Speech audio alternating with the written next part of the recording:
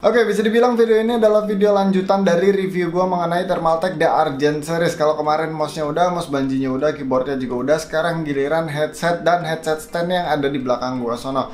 Yaitu Thermaltake Argent H5, kalau yang itu headset standnya namanya Thermaltake Argent HS1 atau HS1. Gue akan nyebut menggunakan bahasa Inggris aja ya alias H5 sama HS1 tadi. Soalnya kalau pakai bahasa Indonesia ini disebutnya kayak manggil nama orang, H5. Oh ya, by the way, karena ini adalah review dua produk sekaligus seperti biasa, gue akan start dari headsetnya dulu, abis itu gue baru nge-review si headset standnya. So, kita langsung mulai aja review. Untuk kelengkapannya dari si H5 ini ada box, buku-buku sakti, kabel USB Type-C ke AUX, terus ada mikrofon, splitter, dan satu unit headsetnya.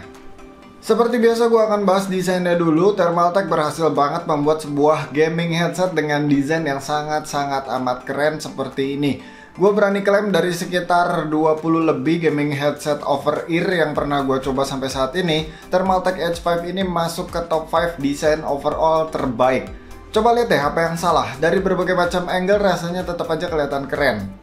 Body drivernya memiliki garis-garis tegas yang sama sekali nggak norak, malah kesannya mahal banget. Gue juga suka dengan branding Thermaltake yang ada di bagian body drivernya ini dengan konsep white on black jadi tegas banget nih logonya, tapi tetap berwibawa apalagi headset ini nggak ada RGB sama sekali.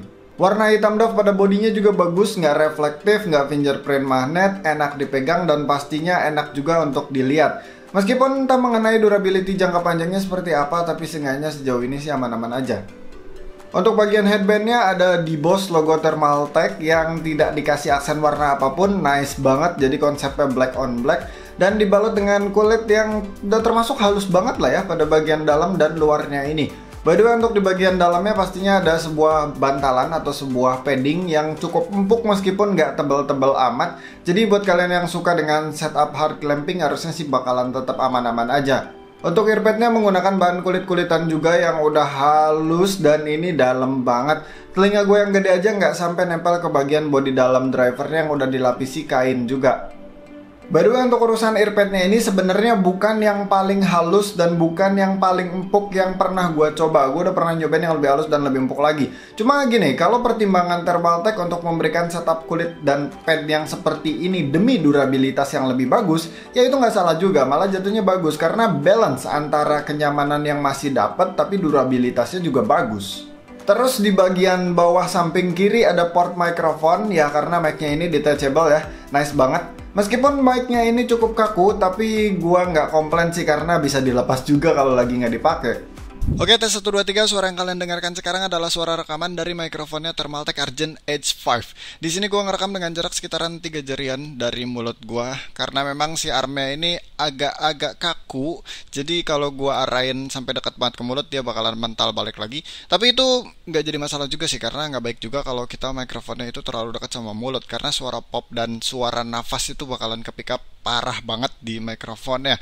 Dan mengenai kualitas suaranya menurut gue ini udah tergolong bagus banget karena noise-nya masih wajar. Kalau gue mau monitor dengan volume yang cukup tinggi memang masih terdengar noise. Itu sangat-sangat amat wajar. Noise-nya tuh nggak noise yang gila-gilaan gitu, nggak sama sekali cuy. Masih wajar banget. Dan untuk tone suara gue menurut gue agak cenderung ke arah kering tapi nggak sampai kering banget dan untungnya di sini pronounce gue itu masih jelas, masih gampang ditangkapnya. Jadi nggak sampai suaranya kayak bok bok bok atau yang gimana-gimana enggak cuy. Jadi udah tergolong bagus banget mikrofonnya. Nice. Kemudian ada port USB Type-C di mana itu merupakan satu-satunya konektivitas dari Edge 5 ini. Portnya ini bakal dicolokin kabel yang memiliki panjang sekitar 1,8 sampai 2 meteran tanpa sleeving atau braided. Cuma ini karetnya udah bagus banget sih. Oh ya, berhubung dia ini nggak sleeving atau nggak braided, jadi cenderung nggak berisik kalau gesekan sama baju.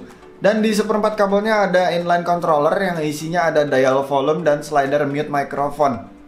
Nah mungkin ini menjadi salah satu hal yang gue kurang suka dari Thermaltake Argent H5 ini Yaitu masalah inline controller yang sebenarnya terdengar sepele tapi bagi gue cukup kompleks Jadi hal yang nggak gua suka dari inline controller itu ada dua. Yang pertama biasanya pakai ukuran yang gede-gede jadi bikin berat sebelah. Sebenarnya nggak nggak seberat itu, nggak seberat yang kalian bayangkan. Maksudnya nggak sampai headsetnya jadi miring atau kita benar-benar kerasa bagian kirinya berat banget. Nggak sampai sebegitunya. Cuma kalau kalian udah pernah nyobain headset A, B, C, D, A, B, C, D, apalagi kalau kalian compare dengan yang tidak ada inline controller itu betapa enaknya yang nggak punya inline controller. Pertama itu, dan untungnya si Thermaltake ini inline controllernya kecil plus ringan juga. Jadi masalah berat yang nomor satu ini nggak jadi masalah. Tapi yang jadi masalah adalah nomor kedua nih. Di mana um, dengan menggunakan inline controller, ketika kita ingin mengoperasikannya, kita harus meraba terlebih dahulu cuy. Nyari-nyari dulu di bagian kabel aduh mana ini inline controllernya. Apalagi ada gaming headset yang nyimpen inline controllernya itu agak jauh daripada mounting portnya. Jadi sampai di paha posisinya kalau lagi dipakai. Untungnya si Thermaltake ini cuma sekitaran sejengkal, jadi masih lumayan lebih untung, lebih oke okay gitulah daripada headset lain ada yang gue temuin yang sampai di paha itu nggak enak banget. Tapi meskipun begitu gue tetap lebih prefer kontrolernya itu disimpan di bagian headsetnya, di bagian bodinya sini. Apalagi di bagian samping belakang. Jadi pas kita pegang itu jempol langsung ketemu sama dial volume kita nggak perlu ngeraba-raba lagi langsung tetap ketemu dan untuk tombol mute microphone ya biasanya juga memang sekitaran dial volume nggak jauh-jauh jadi tanpa perlu kita ngelihat dan meraba kita udah langsung nemu gitu langsung tangan kita nih refleks langsung ketemu ngepas di situ cuy mungkin mungkin ini gue um, semacam berpikir positif aja. Mungkin body bagian dalamnya ini udah penuh dengan komponen lain, tapi harusnya bisa lah untuk geser-geser dikit supaya bisa masukin modul dial volume dan modul mute microphone yang sebenarnya nggak gede-gede amat, biar bisa disimpan di bagian sini. Dan kesannya menurut gue agak lebih premium gara-gara kabelnya itu jadi polos, bener-bener kabel doang. Udah nggak ada controller sama sekali. Ditambah lagi feel controllernya ini kerasa terlalu plastiki Padahal di bagian bodinya itu meskipun plastik itu udah kerasa mahal banget Gue juga nggak ngerti kenapa Jadi ini inline controllernya semacam bonus doang kali ya By the way, untuk ujung kabelnya dia pakai jack audio 3,5 mm TRRS. Jadi kalau mau dipakai ke single jack device kayak HP ya itu bisa tinggal langsung colok doang. Tapi sebaliknya kalau mau colok ke dual jack ya harus pakai splitter yang untungnya udah dikasih di kelengkapannya tadi. Overall dari segi desain cuman satu yang menurut gua kurang yaitu bagian inline controllernya tadi. Itu doang sih, sisanya bagus semua. Serta untuk build quality-nya juga udah bagus, plastik-plastiknya kerasa solid, headbandnya juga kerasa kokoh, kulit-kulitannya juga bagus banget. Kemudian untuk hal-hal yang berhubungan dengan kenyamanan, H5 ini memiliki adjuster yang sangat-sangat amat lengkap dari mulai ada high adjuster pastinya yang feel-nya ini enak banget. Terus dia bisa swivel ke depan ke belakang, terus dia bisa in out juga dan bahkan dia bisa flip in biar pas di bawah-bawah ini nggak makan tempat.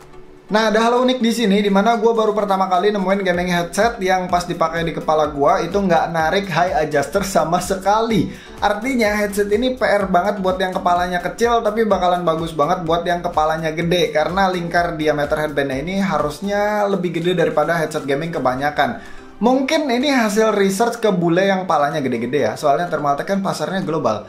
Tapi untungnya dengan stok high adjusternya ini masih nyaman di kepala gua nggak sampai longgar-longgar amat malah cenderung pas. Clampingnya juga bersahabat banget, gua pakai 2 jam nonstop masih kuat meskipun kerasa gerah gara-gara earpadnya yang pakai bahan kulit. Tapi untuk ceilingnya ini agak kurang ya, karena di kepala gua ini agak bocor di bagian belakang telinga. Gua nggak tahu mungkin ini earpadnya juga termasuk gede ukuran bule. So far dari segi kenyamanan, Thermaltake H5 ini termasuk oke okay banget meskipun bobotnya nggak termasuk yang ringan-ringan amat, yaitu di sekitar 370 gram. Tapi dengan segala konfigurasinya ya kerasa nyaman-nyaman aja sih. Sekarang tinggal bahas suaranya. Di boxnya ini ada tulisan high res, harusnya bakalan mantep nih. Meskipun dalam pengetesan gue cuman pakai device yang biasa-biasa aja, bukan kelas audiophile, gue cuman ngetes di PC dengan soundcard bawaan motherboard, terus gue juga tes di MacBook, di iPhone, dan di iPod gue. Gue emang nggak punya DAC atau DAP yang aneh-aneh, tapi karena ini gaming headset harusnya tes di PC aja udah cukup sih. By the way, setelah lumayan lama melakukan pengawatan suara dari H5 ini ternyata hasilnya mantap. Yang paling gue suka dari pinpoint dan staggingnya, mantap bener, jauh dekat dan arahnya itu jelas banget. Main game FPS dengan volume cukup tinggi jadi imersif banget. Bassnya juga friendly, gak sampai meledak-meledak nggak jelas. Midnya juga termasuk jernih dan treble-nya juga ya nggak jinak-jinak amat tapi masih oke okay banget di telinga gue. Untuk dengerin musik masih masuk di telinga gua meskipun nggak all rounder jadi harus milih playlist dulu dan memang rasanya itu beda banget ya headset ini benar-benar seperti ditun untuk gaming only karena perbedaan karakter suaranya ketika dipakai dengerin musik versus main game itu jelas lebih enak pas dipakai main game dan itu bagus karena ini adalah sebuah gaming headset. Oke, untuk H5-nya segitu aja dulu. Sekarang kita beralih ke headset standnya yaitu HS1 RGB. Untuk kelengkapannya ada box, buku-buku sakti, kabel USB, dan headset standnya itu sendiri. Untuk desainnya sendiri secara shape gua suka, cuman mungkin proporsi bodinya ini agak terlalu kegedean, terlebih di Indonesia ini banyak yang pakai meja dengan ukuran yang gak gede-gede amat, yaitu di sekitar 120 kali 60 cm, di mana headset stand ini bakal kerasa gede banget. By the way, cek aja deh meja-meja yang dipakai oleh anak-anak PC di beberapa forum PC rata-rata pakai ukuran segitu. Sebenarnya mungkin konsep Thermaltake bikin ukuran gede gini biar super aman ketika digantungin headset yang gede atau yang cukup berat. Karena memang itu feel yang gue temuin di mana ketika gue gantungin headset ke HS1 rasanya itu nggak pernah takut jatuh atau takut roboh atau ragu-ragu nggak ada cerita kayak gitu cuy. Apalagi di bagian atas tempat headband ini udah ada karet yang grippy banget begitupun di bagian bawahnya di bagian tengah depan ada logo Thermaltake yang nyala-nyala, terus di bagian belakangnya juga ada LED strip yang ngumpet banget, tapi itu bagus karena kita bakalan cuman fokus pada pendaran cahayanya doang yang dengan sengaja diarahkan ke tembok dan ke meja. Untuk di bagian belakang ada tempat untuk gulung kabel kali ya, soalnya gue belum pernah punya headset stand yang se-advance ini yang kalau memang benar untuk gulung kabel kayaknya bakalan jarang kepake soalnya agak repot kan kalau mau tiap pakai headset harus rilis dulu gulungannya Terus untuk di bagian belakang ada satu buah USB Type A sebagai power port dari HS1 ini dan di sebelahnya ada satu jack audio 3,5 mm. Terus untuk di bagian kanan ada dua port USB Type A sebagai USB hub. Oh ya, material yang bagian silvernya ini nampaknya menggunakan bahan aluminium yang udah pasti solid banget. Ini feel mahal dan kokohnya itu berasa banget parah dah. Sedangkan untuk bodi bagian belakangnya menggunakan plastik biasa, tapi untungnya ini plastiknya plastik-plastik yang bagus ya. Jadi bukan plastik yang murah-murah gitu, bukan cuy. Ini plastiknya nice banget sih. Jadi urusan build quality nggak ada tawar-menawar di sini. Oh ya, Thermaltake Argent SS1 RGB ini kompatibel dengan software Thermaltake yaitu TTI Tech Engine. Yuk kita lihat mode-mode apa aja yang ditawarkan oleh Thermaltake di SS1 RGB-nya ini.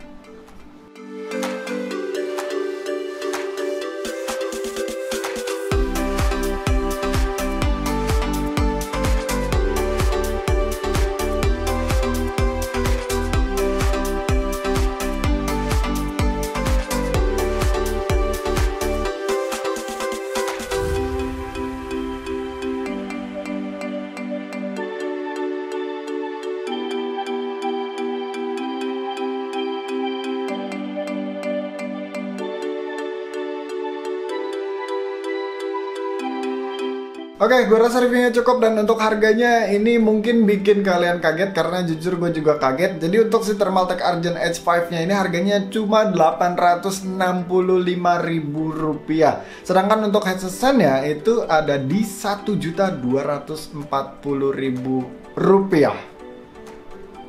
Kaget ya? Ayam ayam ayam, kaget dong.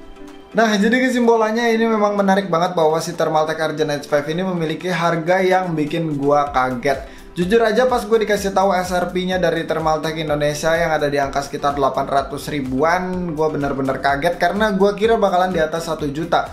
Soalnya bisa dibilang headsetnya ini memiliki feel yang mirip-mirip kayak headset di atas 1 jutaan lah. Sedangkan untuk si HS1-nya yang gue tebak harganya ada di sekitar 900-an, ternyata SRP-nya nyentuh di angka 1,2 jutaan. Jadi untuk barangnya sendiri ya jelas kedua-duanya bagus. Cuman untuk si HS1 ini kayaknya bukan ditargetkan untuk menjadi yang paling best value di antara kompetitornya, tapi lebih ke dibuat all out aja lah. Sedangkan si H5-nya ini malah kebalikannya, soalnya pengen ngejar pasar sekaligus memperkenalkan bahwa Thermaltake bisa bikin gaming headset yang bagus dengan harga yang murah, alias memiliki rasio price to value yang cukup tinggi. Tapi pada akhirnya pilihannya tetap jatuh ke tangan kalian sendiri. Semoga apa yang gue sampaikan ini bisa menjadi salah satu referensi sebelum kalian membeli. Tapi selebihnya gue serahkan terhadap kalian. Sebenarnya kalau nanya bagus atau enggak ya bagus, kedua-duanya bagus. Cuman lihat aja dari rasio price to value-nya dan coba aja kalian telaah dari apa yang gue sampaikan. Yang kalian butuhkan itu ada nggak sih di H5 dan ada nggak di HS1? Kalau ada ya udah silahkan beli aja dengan catatan harga yang cocok. Ya gitu doang sih. Jadi segitu aja reviewnya. Thank you udah nonton. Sampai ketemu di video selanjutnya. Bye